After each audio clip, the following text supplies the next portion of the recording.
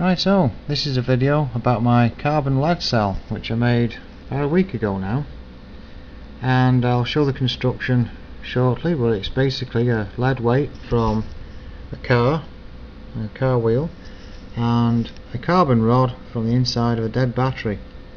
And immediately it had 1.138 volts on it.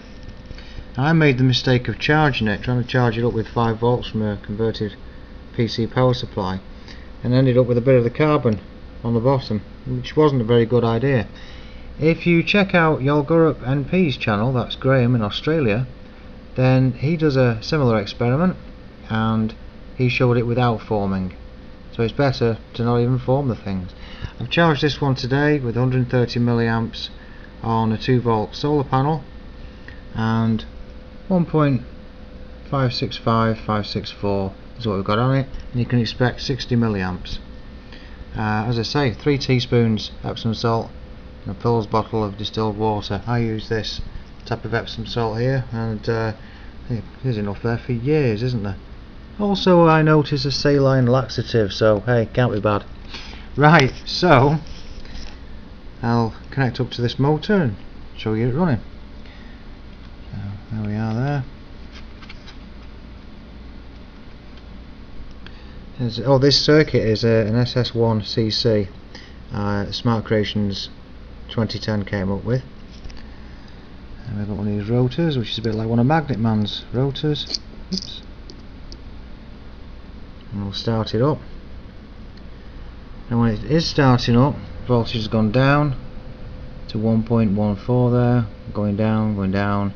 But when this rotor spins up to full speed in a few seconds time it'll shoot out to the side and the voltage will go back up on the cell. There we are, shot out to the side. And now we've got 1.136 stabilizing. And we'll begin to climb. Should do. The thing is these cells they hit a plateau and they don't go anywhere. So about 1.1 volts is the uh, the minimum they will go to. You see now it isn't dropping anymore. Now I've had this thing running for hours and it wouldn't go below 1.1 volts. Interestingly enough, before any charge, this cell actually was at 1.138. So there we are, spinning away.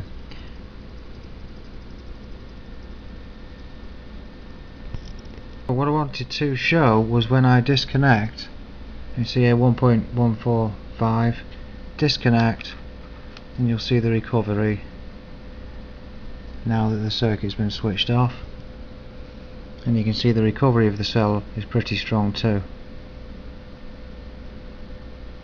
Right so now I'll uh, unplug this lot and I'll show you how the cell is inside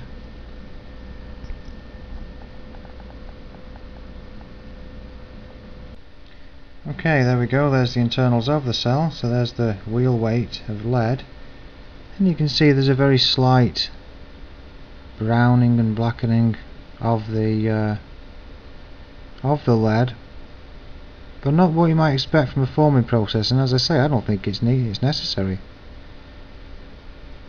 But there's also the carbon rod as well, which you can see there's in pretty good condition. This has been used for about a week now. It's charge, discharge, charge, discharge.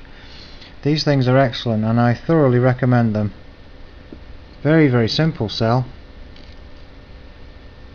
And you'll get about 1.5 volts and 60 milliamps.